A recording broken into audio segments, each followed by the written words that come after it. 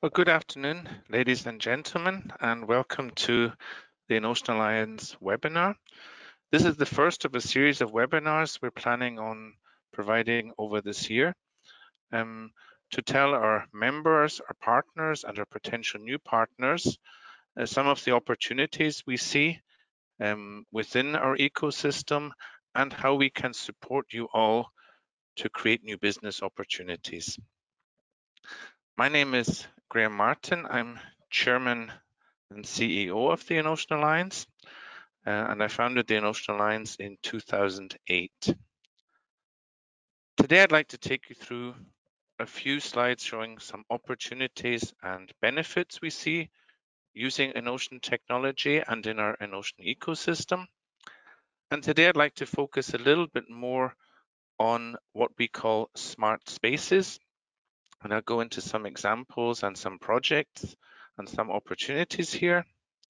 And finally, uh, I'd like to show you then a little bit about the EnOcean Alliance, who we are, what we do, and how we can support our members in networking, technical cooperation, and marketing cooperation.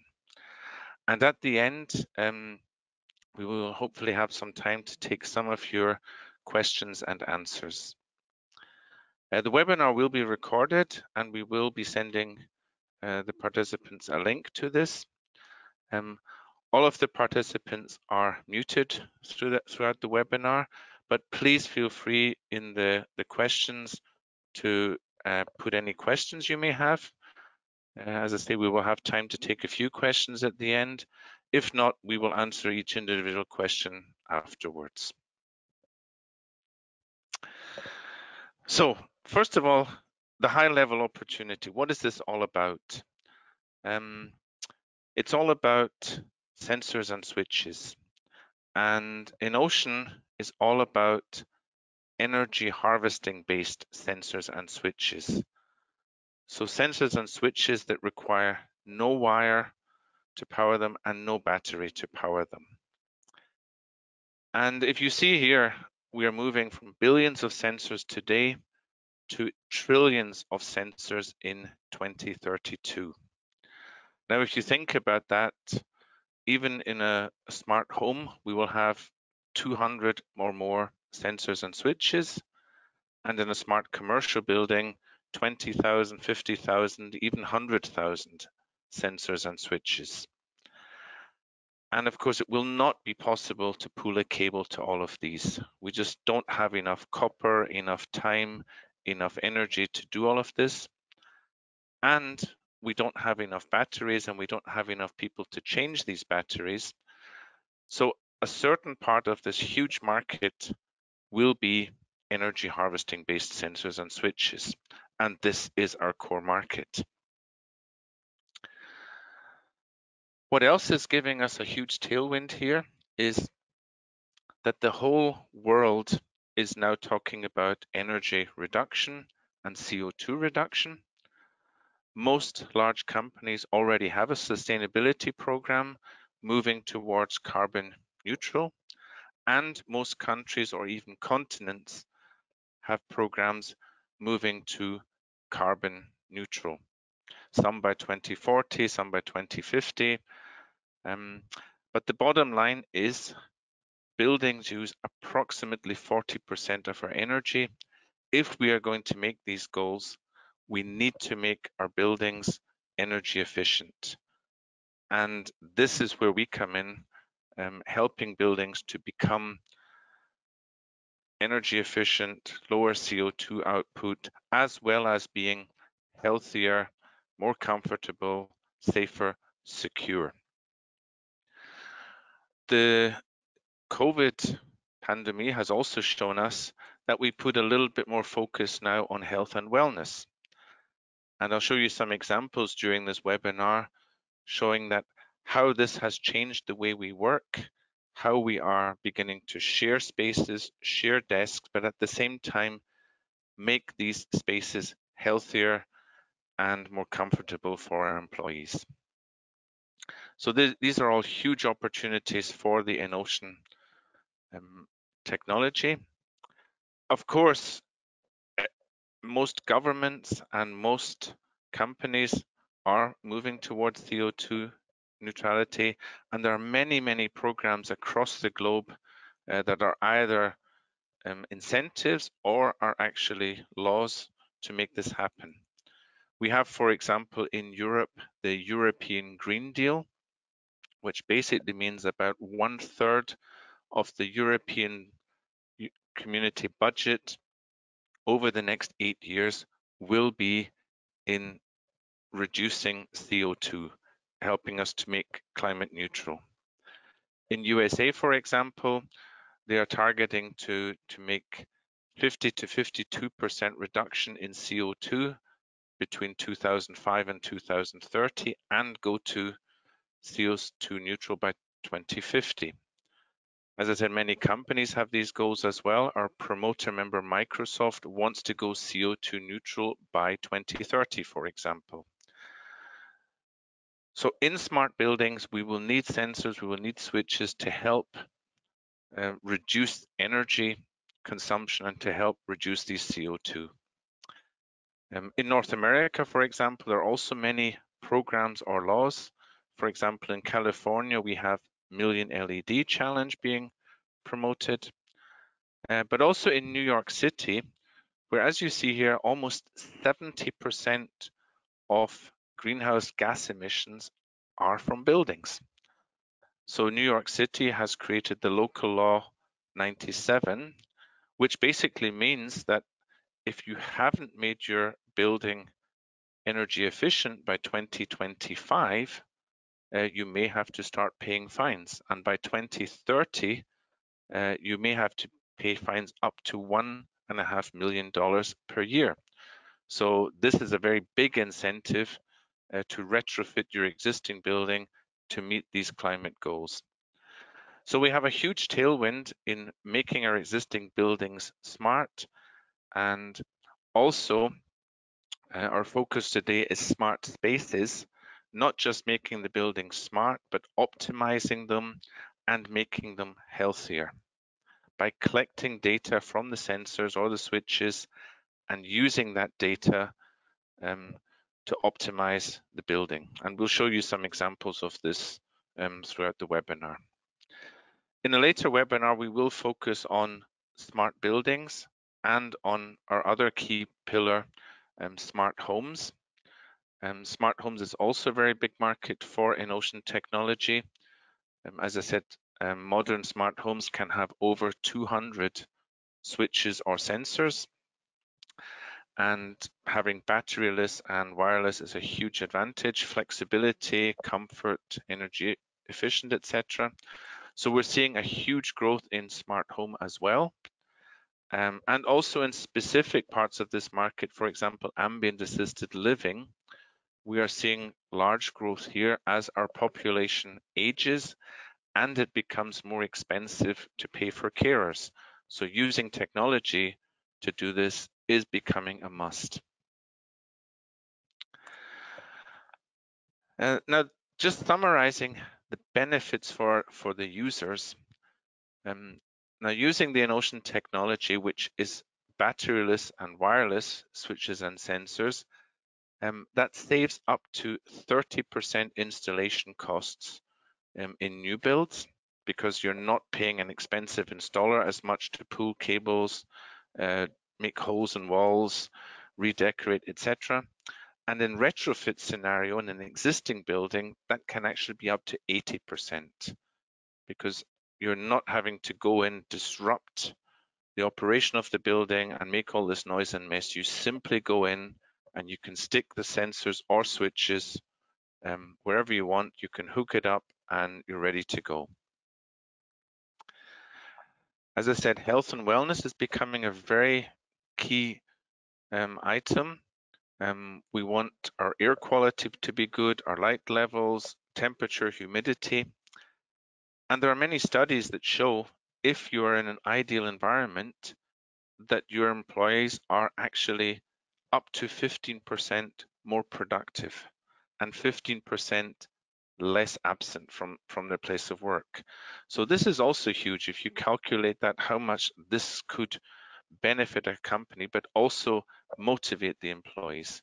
So again, this is becoming more and more popular, especially um, with people having gone through the, the COVID pandemic.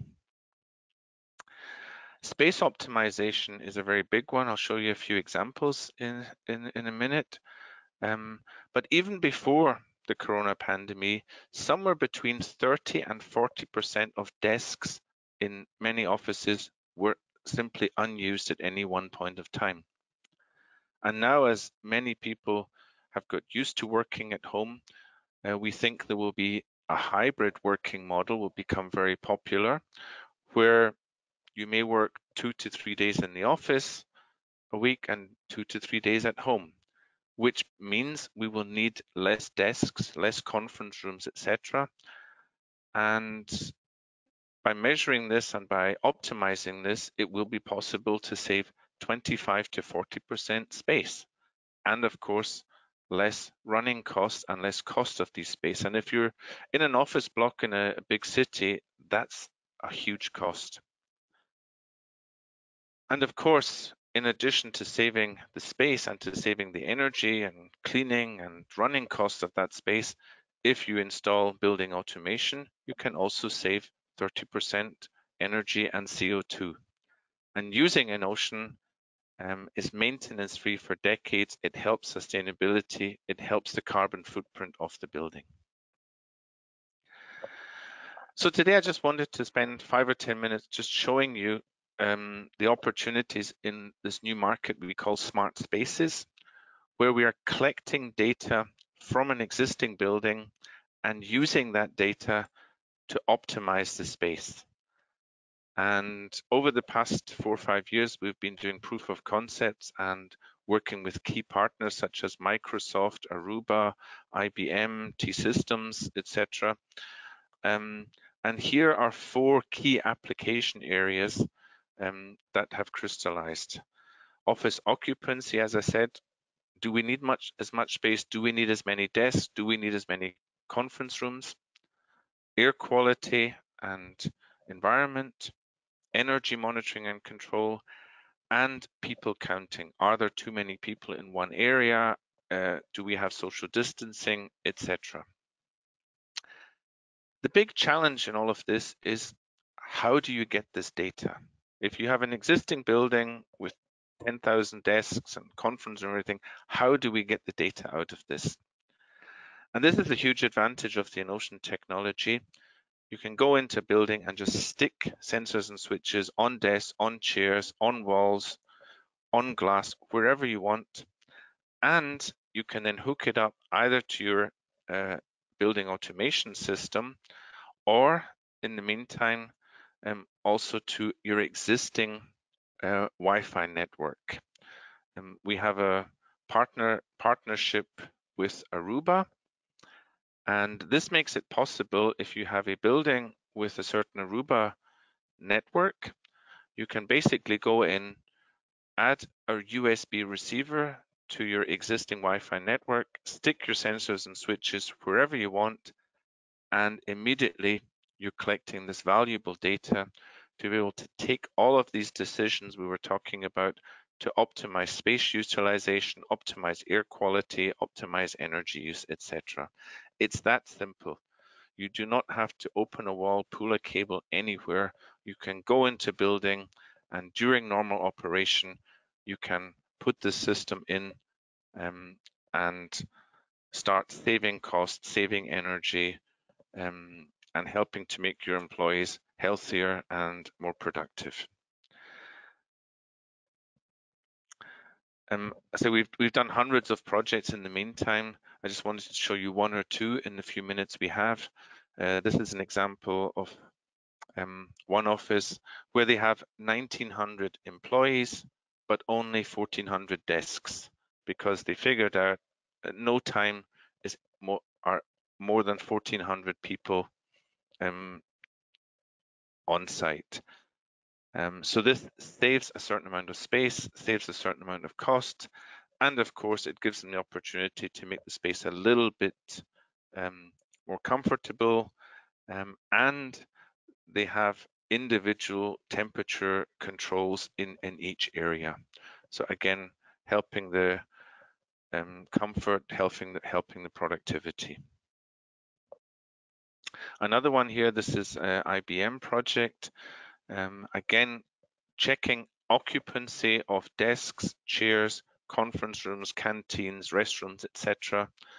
Um, and then also matching that with energy usage, temperature, etc. And then making the decisions to optimize the building based on this valuable data. Um, or many facility manager companies here, this is one Apleona, um, are adopting the technology and offering this to their clients to measure all of this, to collect all of this data, and then together with the client to optimize this, saving cost, saving space, improving air quality, improving productivity, health and wellness. So that was some of the smart buildings, smart homes, and some of the new smart spaces um, applications and opportunities that we see within the EnOcean Alliance. In the last few minutes, I'd like to give you uh, an overview of the EnOcean Alliance.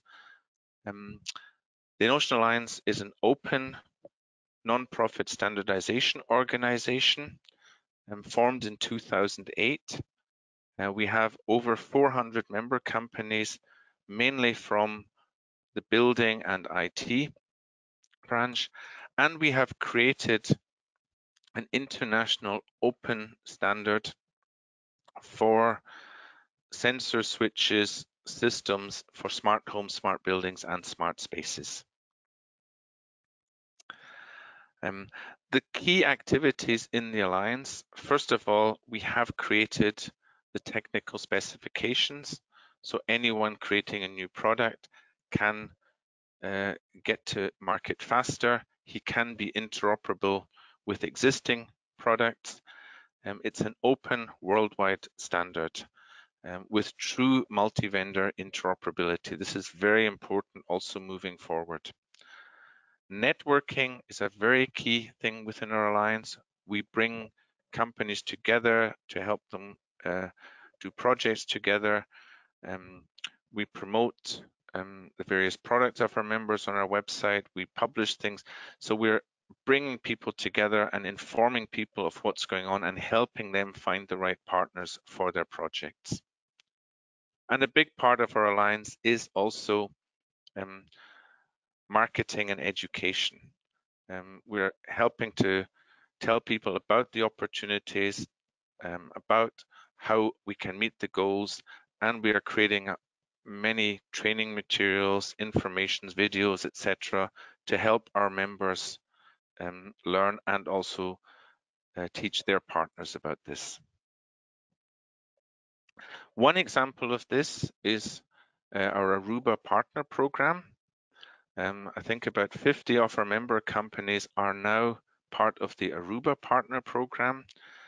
And this is a very fast growing ecosystem um, together with the Aruba Wi-Fi networks and the EnOcean sensors, we're helping these partners and their customers create smart spaces um, and create um, better buildings. And this is a, a very good partnership um, and uh, we're very, very happy to offer our members this uh, and work very closely with Aruba, uh, with Mike Tenefos and his team on doing this. We're also um, part of the um, new standard, uh, which is called Matter. Some of you may, knew, may have known it last year as CHIP. And this is together with the Connectivity Standards Association, which was formerly known as the Zigbee Alliance. And the idea behind Matter is to create true interoperability, multi-vendor interoperability at IP level. And we are a big supporter of this, of open standards interoperability. And the idea here is at IP level, everything is interoperable, independent of the transport layer, whether it's Bluetooth, whether it's Wi-Fi, whether it's EnOcean, whether it's Zigbee. um, the user doesn't really care. He just wants on his app or on his tablet or wherever his control is, just to be one thing for him. And that's why we're very su uh, supportive of Matter and the Matter standard should be coming out this year. And we are intending being a very good partner here with many of our members. Um, we've also just launched um, this month actually um, a new video series um, promoting sustainability, CO2 energy savings. Uh, this was done with our promoter members, Microsoft, T-Systems, EnOcean and others, and uh, will be launched by CBS News on March 28th and also Reuters in April. And here we're just showing um, what key companies are doing um, to get energy efficient to reach the CO2 goals of companies and countries. Um, and please have a look at these videos. Please uh, use them as inspiration. Um, this is a very good way of showing how EnOcean technology can help you to meet these goals. If you're um, a product developer, we have a full set of technical specifications to make it very easy for you to develop new products and to be interoperable with um, the ecosystem. As I say, this is an open international uh, standard. And if you are a member of the Alliance and you have created products, we promote them on our website. And this, this website gets about 100,000 hits per year, half of whom are looking for products and solutions. So this is a very good tool um, to help OEMs and promote their products. And it's a very good tool for people looking for solutions uh, to find them. Um, we also create um, a lot of white papers, marketing documentation. Many of the typical questions we get, you know, how does EnOcean compare with Bluetooth, Zigbee, Wi-Fi, LoRa, Sigfox? What's the advantages and disadvantages? Uh, very good question. So we create materials to help our partners answer these questions. What's wired versus wireless? Um, what's the difference? Where does the 30% savings come from, etc. So we create a lot of um, materials to help our partners learn this and to teach their customers. And we, we do about 20 to 30 events per year. Um, in last month in Las Vegas, for example, we did the AHR Expo. Expo. There was about 20 of our member companies here helping to to show the interoperable ecosystem um, in the, the HVAC and building automation world. So we're here to help you. We have a, a team of people um, to support you, um, starting with myself, um, and we have a number of ambassadors, we have vice chairman, we have technical support, etc. So we do um, invite you to become part of this, to work with us to your benefit uh, and to our mutual benefit. And if you have any questions or anything, please have a look at our website or contact us and we'll be happy to support you. I say today we are over 400 members and we are leading in international um, solution providers, smart homes, smart buildings, smart spaces. Uh, we are growing very fast. The ecosystem is growing very fast. And I think as you saw at the moment, at the start of this presentation, we have a huge opportunity in front of us. So thank you very much indeed for taking your time. Um, I'm exactly on time, 25 minutes. That gives us five minutes um, for questions. Um, so please feel free to type in any questions you have. Um, I see that the first question here is, um, what are the membership fees of the EnOcean Alliance? Um, so the answer is the standard membership fee for participant is $6,000 per year. There are other membership levels depending on who you are and how um, intensive you want to be part of this. Our promoters who run the alliance is 35,000 per year. Associates who are just part of this are $500 per year. I see another question here. Um, do you have switches using open thread? Um, I'm not quite sure what that means. I mean, if we're talking about uh, the standard thread, um, yes, we are working together with thread. Um, I don't know if a switch today with energy harvesting using thread, but we are working together with thread to define sleeping devices um, that can be part of these networks. And that's also uh, a discussion we're, we're having with uh, the people at Matter. Um, energy harvesting sleeping devices are obviously special um, and they need to be treated slightly differently. And we have worked with various organizations to make this, this happen. Um, I'm seeing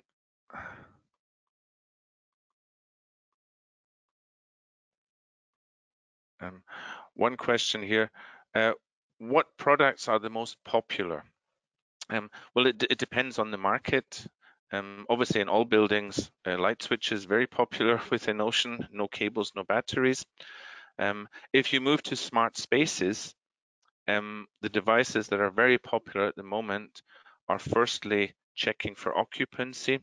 So sensors checking for desk occupancy, chair occupancy, room occupancy, restroom occupancy, um, these kind of things, but also air quality, CO2, um, fine particles, um, temperature, humidity. These are the, the key um, products. And I think we have time for one more question. Um, um, one more question, very good question here. Any um, plans for energy harvesting support for LoRa one. Actually, um, yes, we've already done a, a, proof of concept here, um, and uh, there are samples available with energy harvesting LoRa. Um, that's uh, in, in, inverted commas easy if we're outdoors and there's a lot of sunlight and you you you can um, uh, use sunlight to power this. It's a little bit trickier indoors because LoRa is quite a high power protocol. Sometimes the signals are very long. They take not just a few milliseconds, but hundreds of milliseconds or even seconds. Uh, so the energy budget becomes a little bit more difficult. Um, but outdoors, it's certainly possible today. It's, it has been done. Indoors is a challenge. And uh, that's why I say there's no one wireless standard that suits everything. You need to look at what your requirements are, and then you can choose the best um, protocol for that application or product. Uh, we do have a few more questions, but uh, we're just out of time. I will answer all of the questions individually. I thank you all very much for taking your valuable time today. I hope this was interesting. And if you're interested, in about three or four months, we plan to have the next one with updates and more information about new opportunities and how the EnOcean Alliance can support you there. So I thank you all very much indeed. Have a nice day, have a nice evening, and I hope to see you all next time. Thank you. Bye-bye.